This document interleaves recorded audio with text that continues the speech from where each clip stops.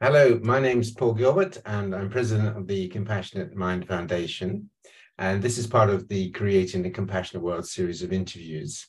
And today I'm absolutely delighted to have Joe Tucci with us, all the way from Australia.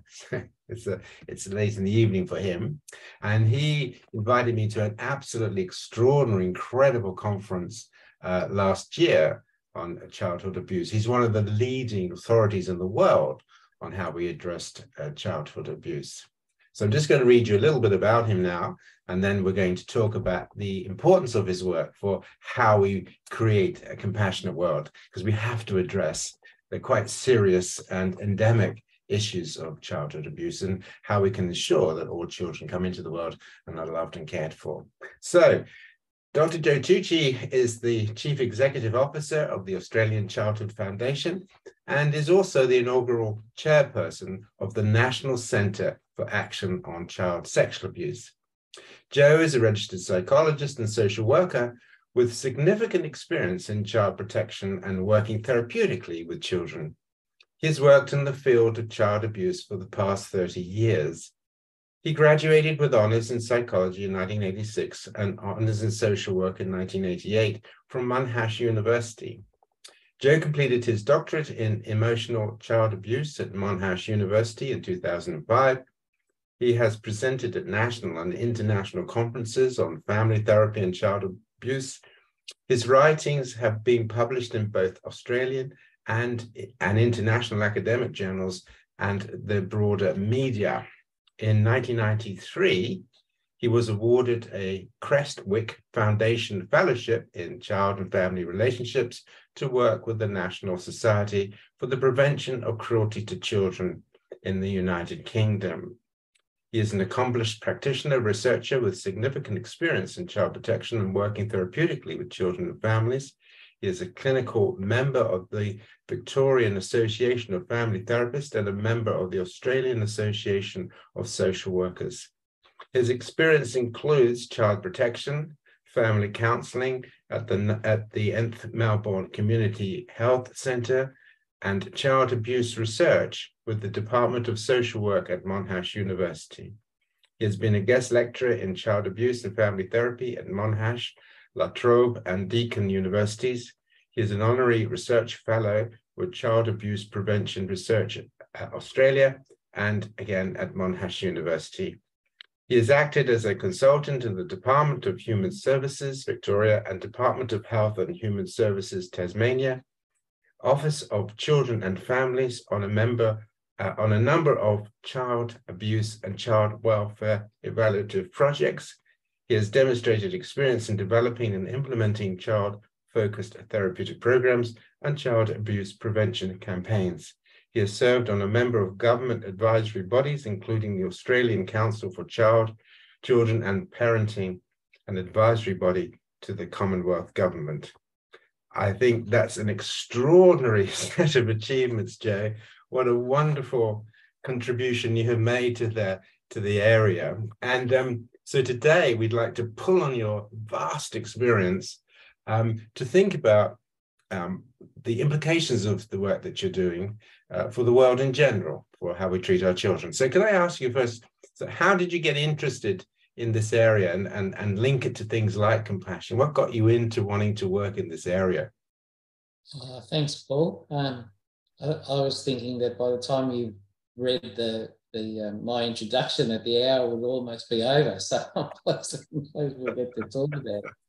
Um, I got interested because I think that children are often blamed for what they the challenges they pose to families and communities rather than um, us understanding why why they behave in the way that they do if you if you think about children who've experienced violence, sexual abuse, family violence, um, they've all they all have their lives disrupted, shattered, um, and as a result of that, they they are on a search for meaning. I think um, in so many different ways, whether that's somatically, you know, in their body, or whether it's um, cognitively when they start to be able to make sense of, of some of the, the things that have happened to them.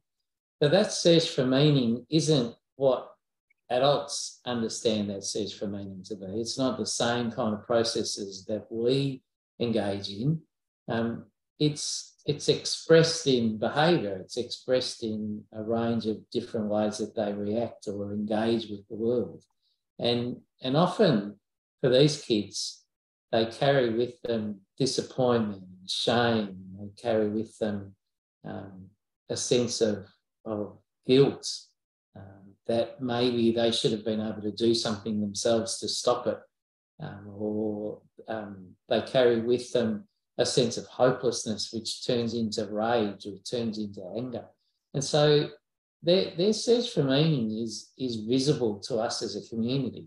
We just don't perceive it as meaning. What we perceive it is as um, uh, we see it as children acting out or children challenging the norms or not following the rules or you know not not being willing to um, accept an education and so we often we often re-traumatize them by blaming them by making them be responsible for their own behaviour we see that in australia in a whole range of ways which we can talk about um, but what these kids are really telling us is that something's happened to them, something really powerful has happened to them, something that they can't make sense of easily, and that they they are left with a set of needs that no one out there can meet.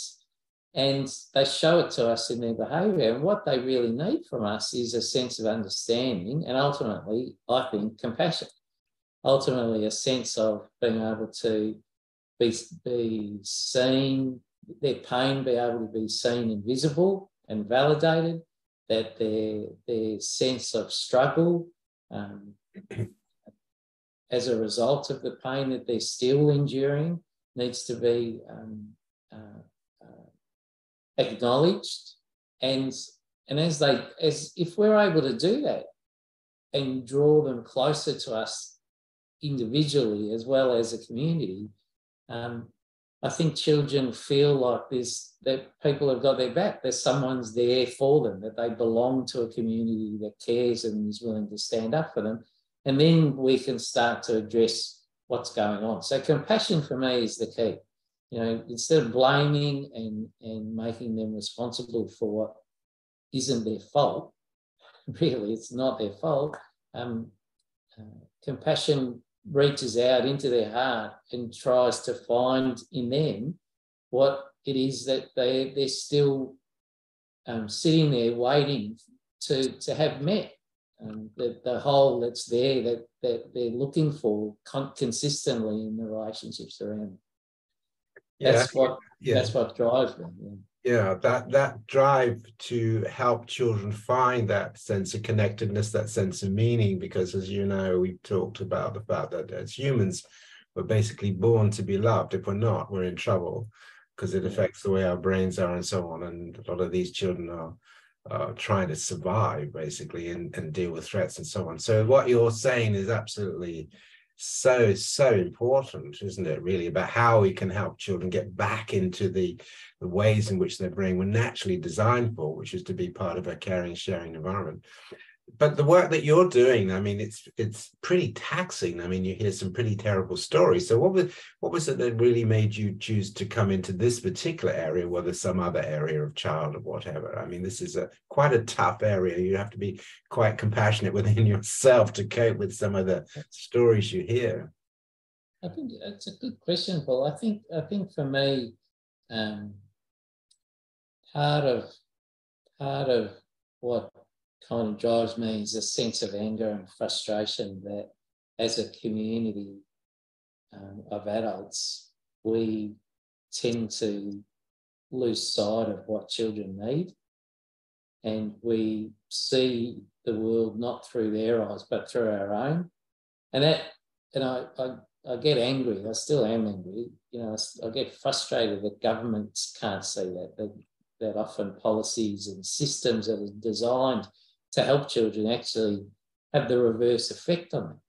Um, so it, it's probably part of my being Italian. I, I think that you know that there's this kind of sense of you know when there's a certainly family is very important to me and and in all of our in all of my stories and, and my background um, children and family is really really important so i think that's the heart of it but at the at the other side is this kind of sense that you can't stand you can't sit down you can't wait idly when you see a problem as tough as this i mean when we do just as a as an example what do i mean by the community kind of um, uh, letting children down.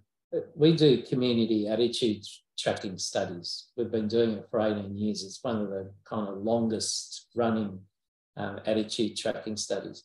And we asked the community, sample of community adults, um, where would you put child abuse on a list of community concern?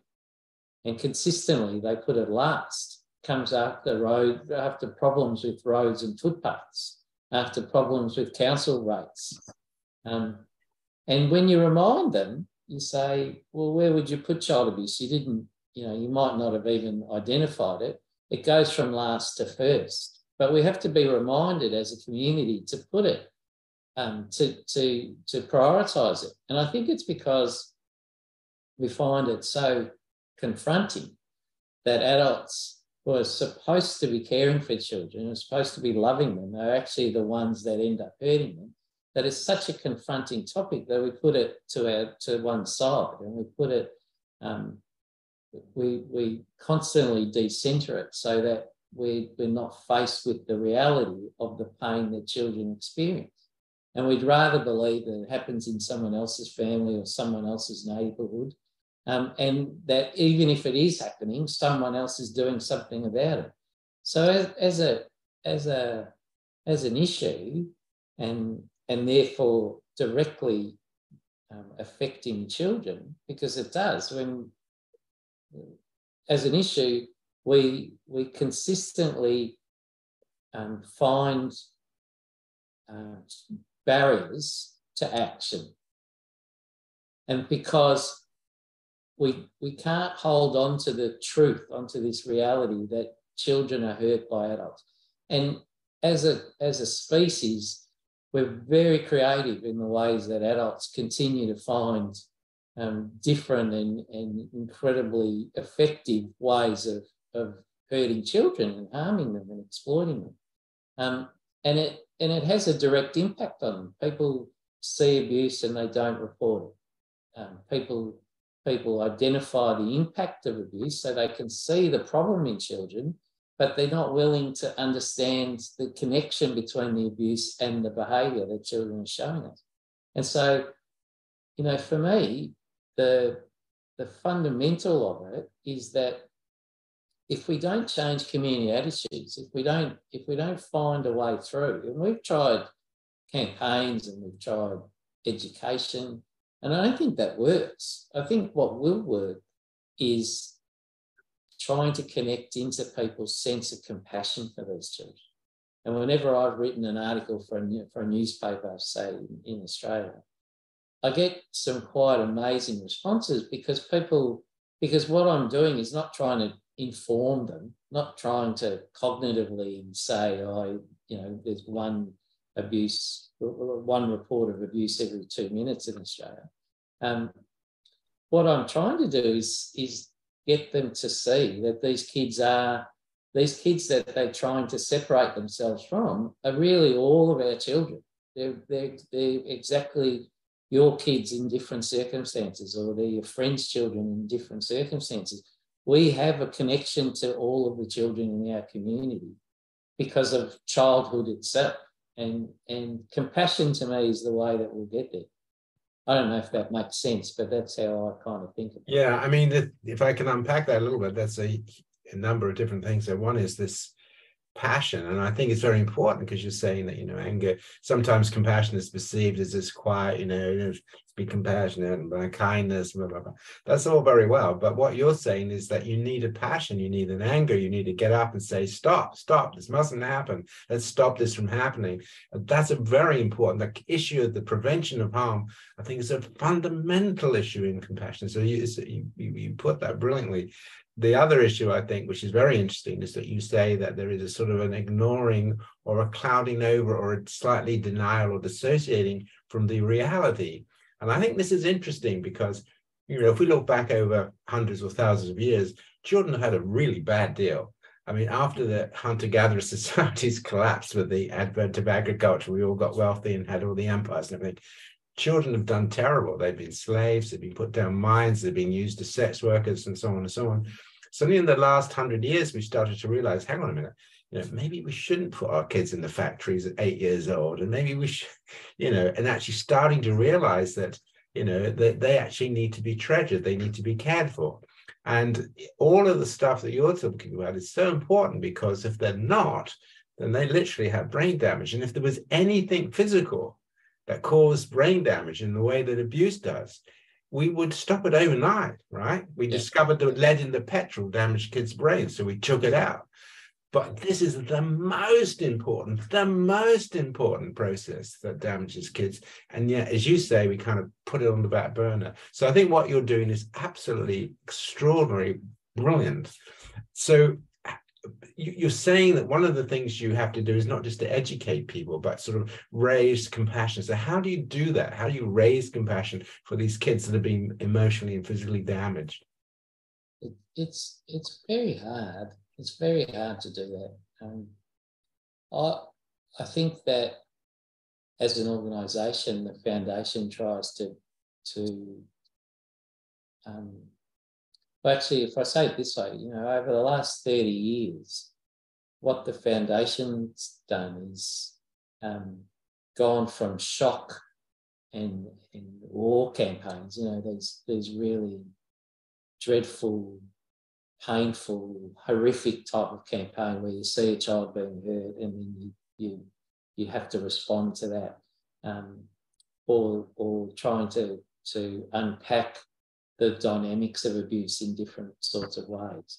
Um, and we've moved to a more, I think, what what we found along the way was that people just switch off from that.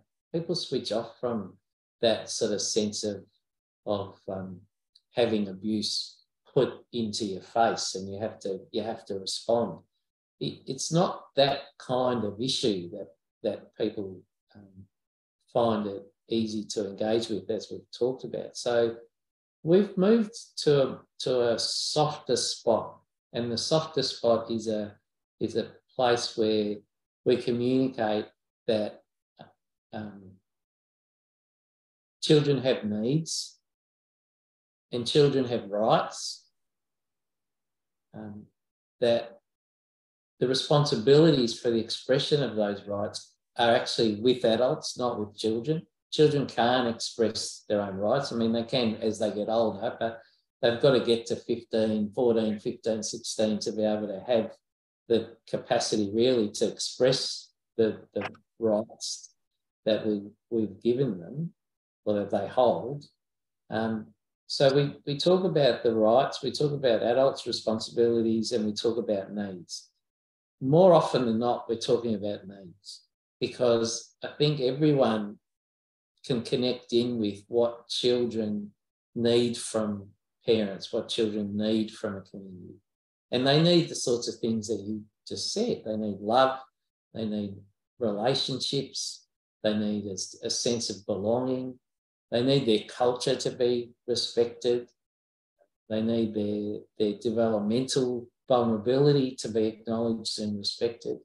So they're the kinds of messages that you that we're we're starting to put out more and more. And as we do that, it's like an invitation to the community to say there's a job to do here. And you can either ignore it or you can join us in, in actually enacting it. And that enacting isn't necessarily only when the abuse and the violence occurs, it's actually way, way before that.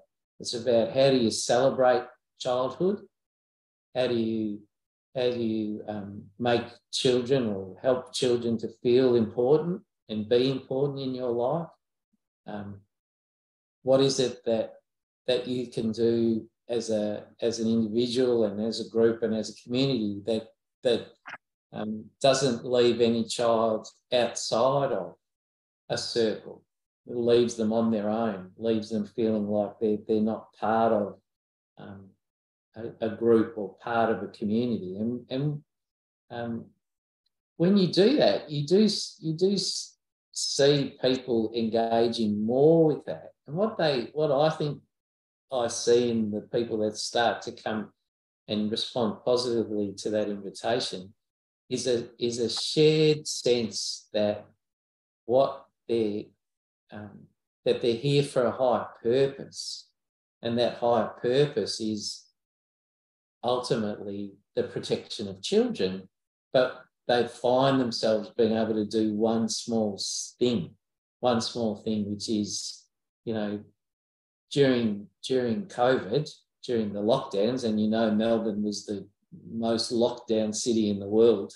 Um, we had we had houses putting up teddy bears out the front window so that children, when they went for a walk in their local community, had something of interest more than than um, they would otherwise have had. So there was a bear here or a bear there, or, or you know, um, other kinds of dolls up in the windows, and and kids would leave little messages written in chalk on the on the um, on the footpath for the pe- the people who put these little dolls up in the in the windows, saying thank you. Um, we really loved. I really loved your your teddy bear. Those sorts of things like that.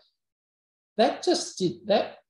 That had the effect, I think, of for the first time being able to see that a community can come together around children, can come together and deliver, you know, something that's a that's a message that's this this this beautiful, caring, tender message to children. And and in the process, I think the whole community was enriched. The whole community felt like, oh, we've done something great for kids. Um, and and I think that to me is a is kind of a shared experience of compassion. You you you're doing something for somebody without necessarily appreciating or expecting a, a return.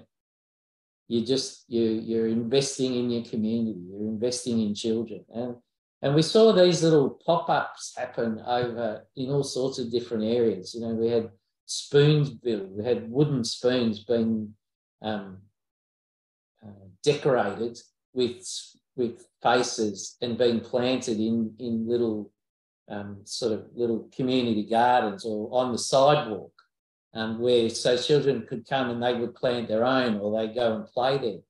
And so COVID was this incredible time, I think, whilst it had all sorts of devastating impacts for sure. But one of the things that it did was that it could it harnessed the collective effort around children. Now I I, I would I'm hoping that those lessons we don't forget and we carry with them, carry it with us into actually doing something when children, when childhood itself has been threatened by abuse and violence to the to the you know, to the extent and degree that it's happening now, that the community will want to do the same thing. And it because it's the it's the same, it's it's exactly the same principle. Um, to to look out for children, to celebrate children, to to know that that your kids, the kids that you know about, the kids that are part of your family or your friends, they're as important to you as children that you don't know and that you need to do something about for them as well. So I, I hope that that's the sort of messaging that we're putting out to engage the community in that sort of invitation. Yeah, it's interesting, isn't it? I mean, in terms of compassion, science, and application, what you're saying is that you know, there are two very different processes here: preventing the bad and and facilitating the good, cultivating the good. You know, is it were. and that actually your brain will respond quite differently if you're trying to stop something than if you're trying to create something good. Because when you create something good, you get positive feelings. I suppose the problem that people might ask you, but yes, that's good. But are you not just preaching to the converted? I mean, are you not just working with families who are already going to be like that? So they will naturally paint pictures and so forth. Because as we know, tragically, abuse actually increased during um, lockdowns.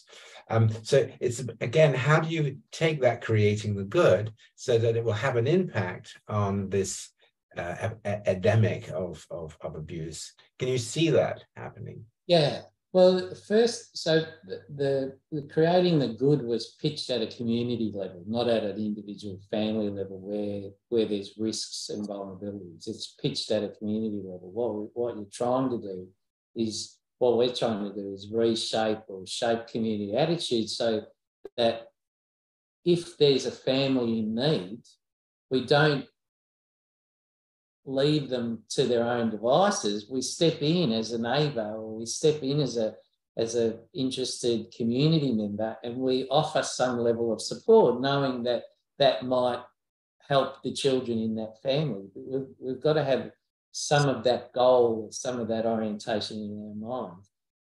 But at an individual family level, I mean, once the abuse occurs, there's a there is a significant shift that you have to make in relation to understanding what children need um, and how you work with parents to to firstly it depends on what i mean you know when we talk about child abuse we're, we're really conflating a whole range of different experiences.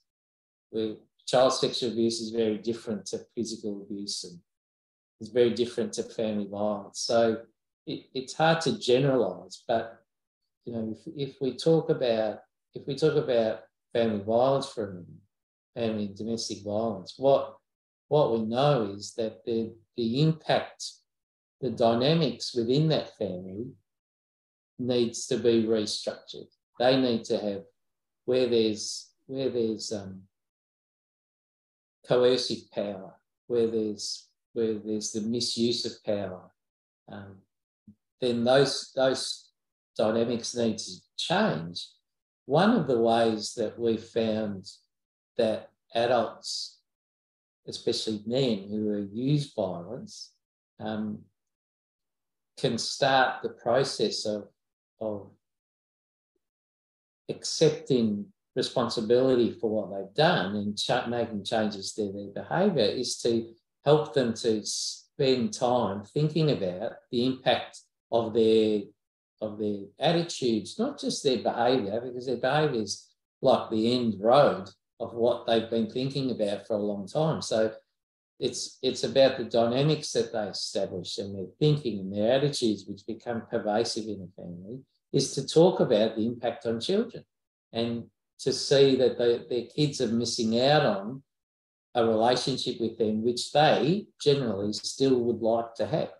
Um, and so we we we in a kind of a psychoeducative way can work with with men who are using violence where children are, are involved, where children are the subject of that violence and being victimized, we we can um, start to specifically relate what children have experienced so that they those adults that adult male can start to you know have the option of thinking about their behavior in a different kind of way. Knowing that your child has gone from um, uh, knowing that your child now reacts to the world as if threat is always around them not just when you're there, but always. Shifts can shift the way that men who use violence um, think and, and then behave subsequently. But it's not an overnight process, but that's the kind of messaging, that's the kind of intervention that we offer when we're working where the, the abuse and the violence has occurred already. Yeah, that's that's amazing, isn't it? That's incredible. We, we, I, I, think you've talked to Charlie, haven't you? Because we have a big program in some of our social services of using compassion in in the families that are struggling. And one of the key things we focus very much on it's not your fault. You know, you didn't design your brain to be like this, blah, blah, blah. And if you can reduce shame, because you get into this, people then feel bad about what they've done, but then they feeling bad about what they've done, it just makes them feel bad. So they're going to do it again. So reducing the shame of what's going on. So this is actually not your fault, but it is your responsibility to understand what those feelings are about and to regulate your behavior, blah, blah, blah. So that does seem to be quite important when people in these positions, in these families feel deshamed, that does create a much easier um, ground for producing compassion. So when they're not ashamed of what they are, or think people are looking down on them, or they're just a violent nobody, or whatever it is, that seems to be such an important. So the key, I think you're pointing out, which is very, very important, is that when you're working with people who have got caught up in this, we have to have compassion for them as well yeah. you know and yeah. and it's how we actually not don't shame them but help them understand the nature of their mind that they didn't choose to be born to have a brain like that but that those sides of them that dark side is now in control but they if they learn to pay attention they learn to notice they have ways of being different. So i think that's again because i know you do that sort of stuff as well having compassion and bringing compassion to people who actually are uh, being uh, abusive can be very very helpful. Yeah. Yeah, that's right, Paul. And even and you know, I think what we what we also find is that we we have to um, uh, help the systems, the networks of relationships around children to um, uh, build compassion for them. Because you know, when you've got one of these kids who won't sit still, whose whose attention is is shot, they're attentional capacity is gone because the threat danger system is, is alert all the time. Um, they're not very good students and they're not very easy to manage in a classroom. Um, and teachers, you know, teachers go into it with a whole range of really positive intentions, but they can still be um, overtaken by the behavioural challenges of these children who've experienced this incredible violation and abuse over, over the course of their life to that point. And as you said, are only really surviving. They're, they're only doing what they've been programmed to do. There's, they have no choice other than what they're doing right now. Um, and for us, helping teachers and, and football coaches and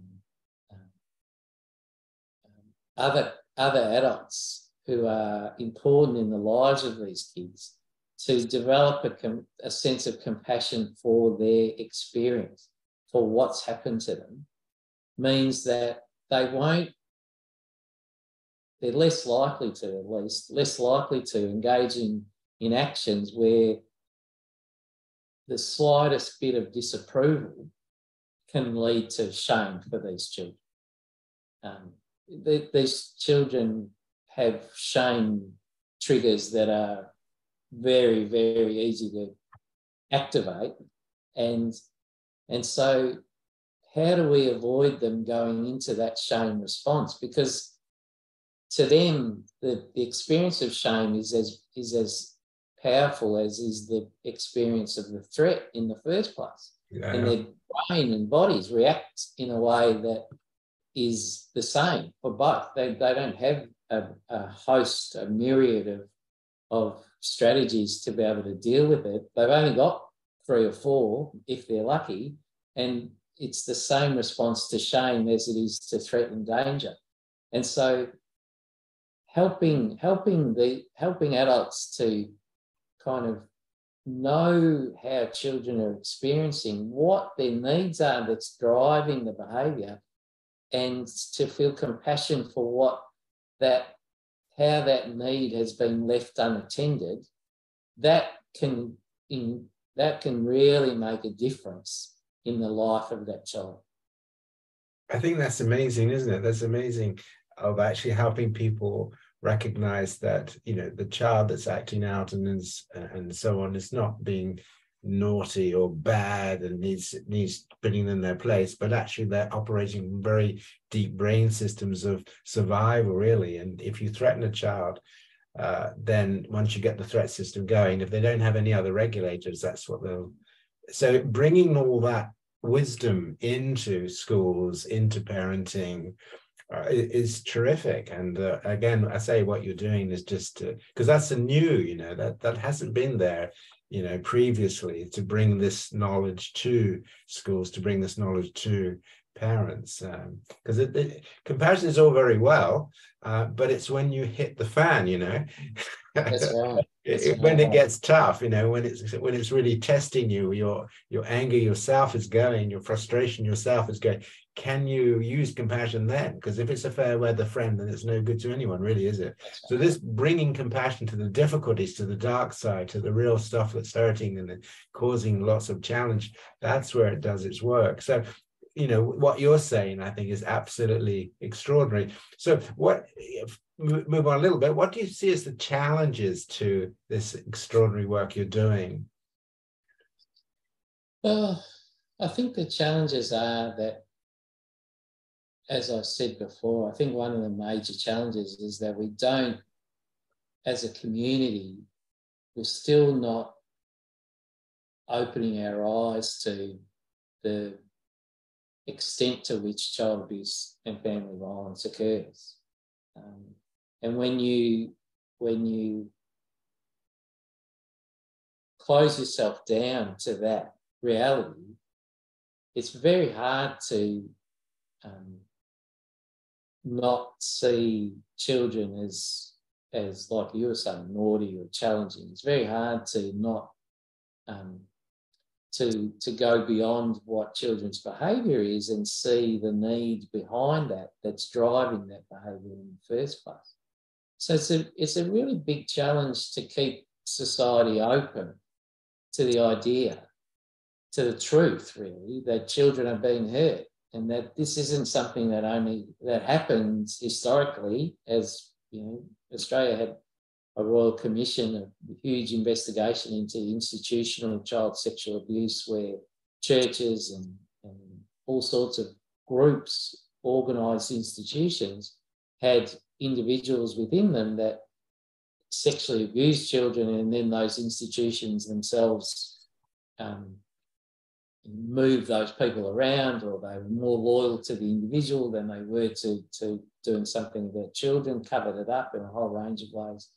And so, you know, almost as a default, we now seem to think that that happened in the past. That's another that's another kind of challenge that we've we've introduced uh-huh. by the very fact of what we've been trying to do, bring it out into the light. We're now saying, well, that happened 50 and 60 years ago. It's not happening now. Well, it is. And if you don't, if you don't, I think compassion's based on for me, you know, compassion has has has to start from an openness. It has to start from an openness to the belief that there are that there are experiences out there that are different to your own. There are experiences out there that might be similar to your own as well, but um, that that that openness to other people's pain will bring change the biggest challenge we've got is that society continually, or in my mind at least, continually tries to close that down because it's it's too hard to stay open to it.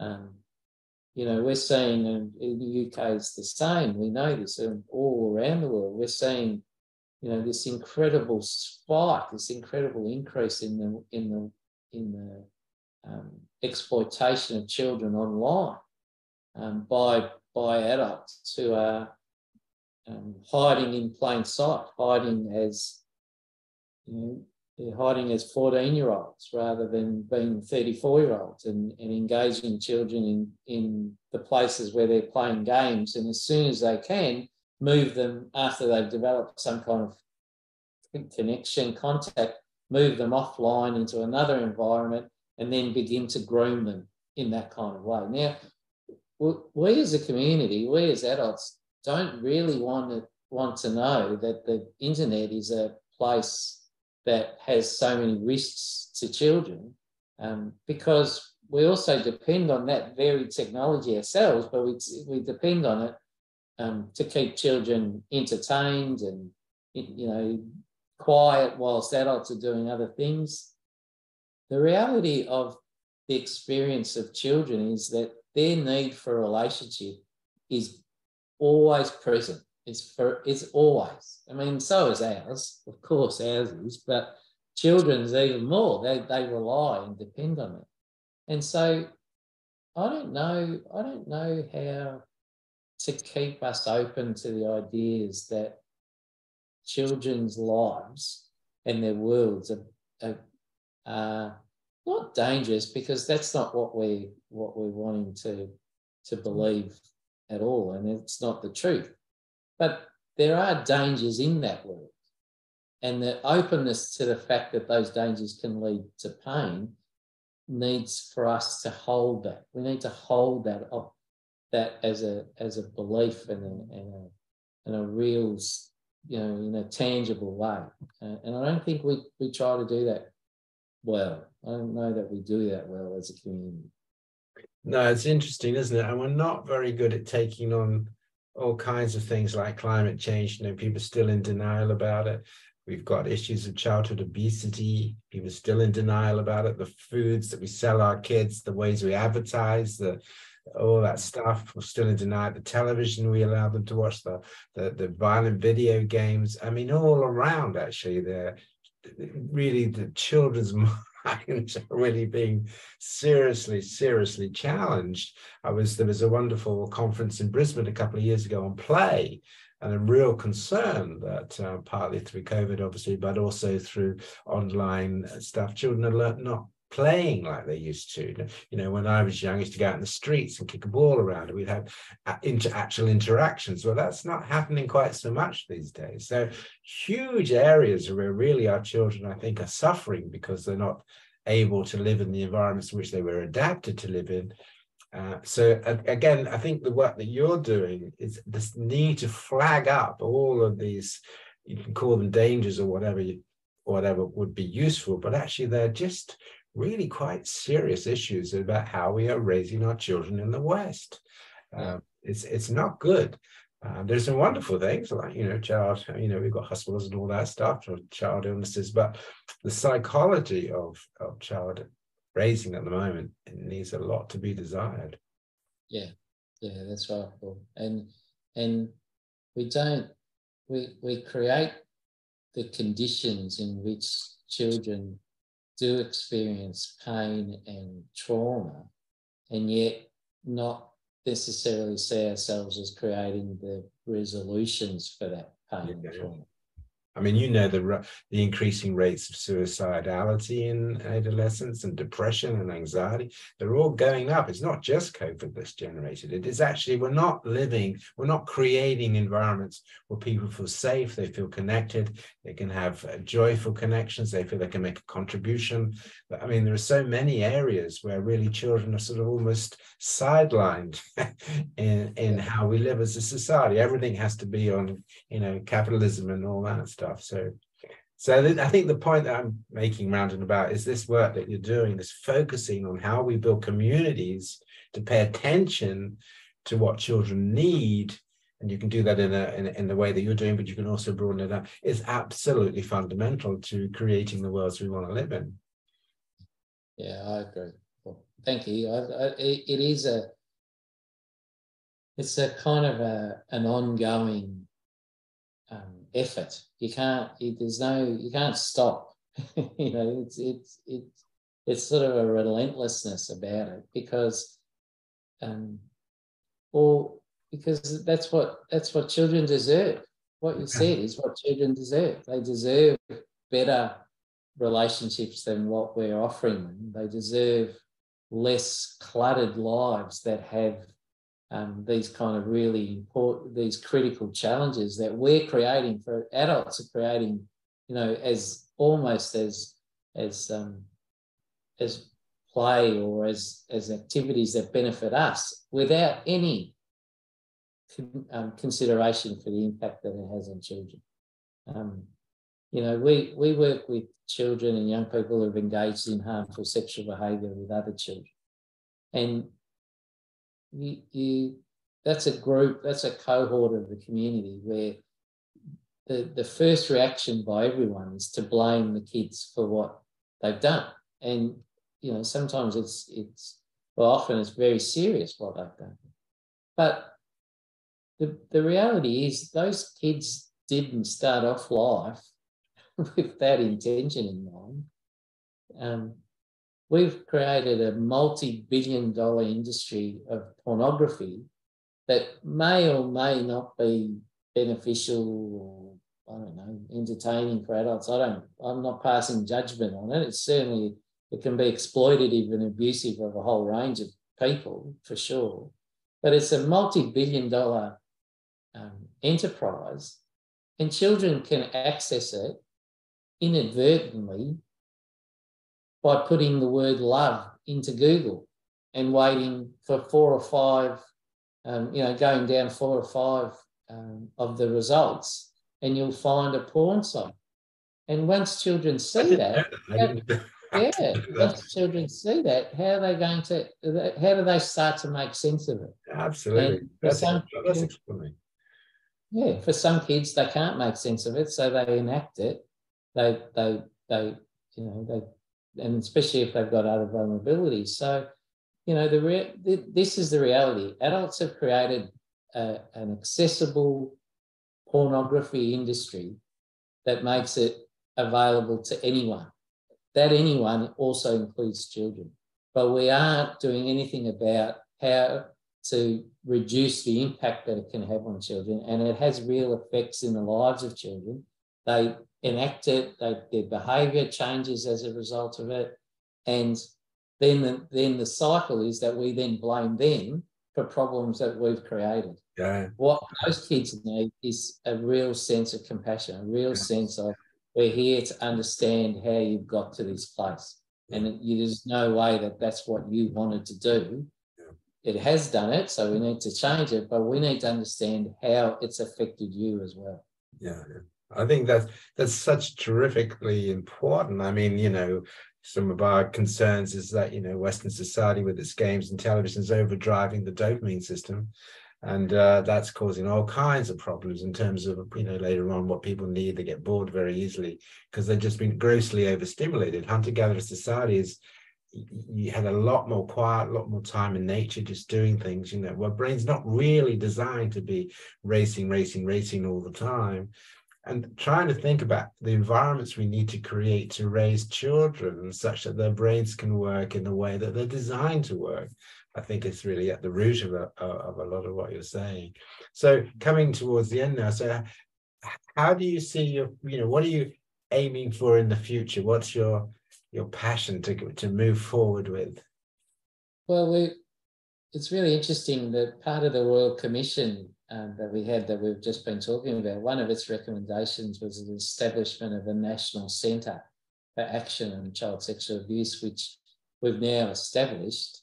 Um, and one of the key goals of that is to introduce um, knowledge about compassion into the practitioner oh, field. Yeah. I'll, I'll, come back and talk to you a little bit more about that.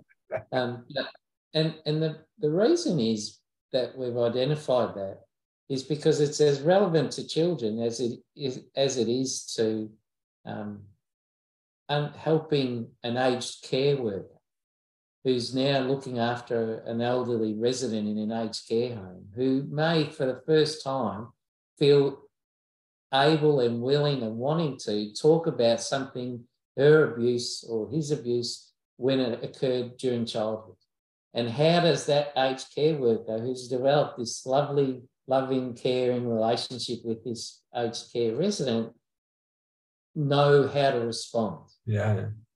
And and so compassion becomes a really important resource, I think, for for victims and survivors of childhood sexual abuse um, over their life course, if we can get it more into the minds of practitioners, um, that their first response and their ongoing response is comes from a place of compassion, comes from a place of understanding, um, and that will change you know, you don't have to, we don't have to do something. We have to listen and validate. We have to, you know, they're the sorts of skills that come with compassion. So I'm looking forward to that. You know, it's very rare that I get to write a five-year plan for a, you know, a semi-government body that has the word compassion in it. And there it is. It's there. That's terrific. That's terrific.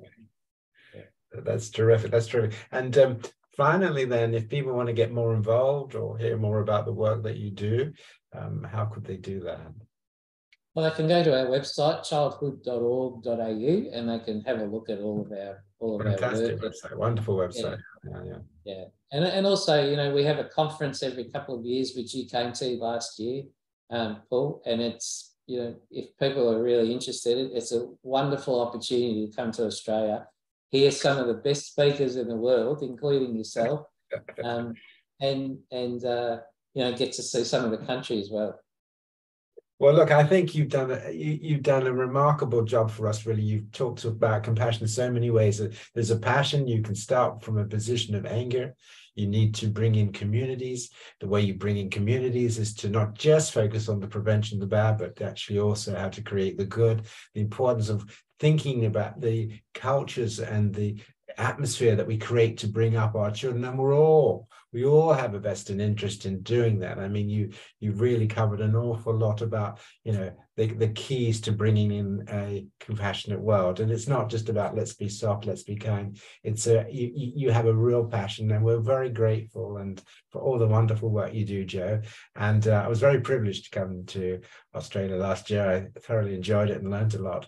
So can I just thank you once again for taking your time to talk to us today and to wish you well in your endeavors. And as I say to people listening to this, do go and look at the website. It's a fantastic website and find out about the work that the, the organization is doing. So for now, uh, we'll say goodbye to you, Joe. Thanks so much. Thanks, Paul.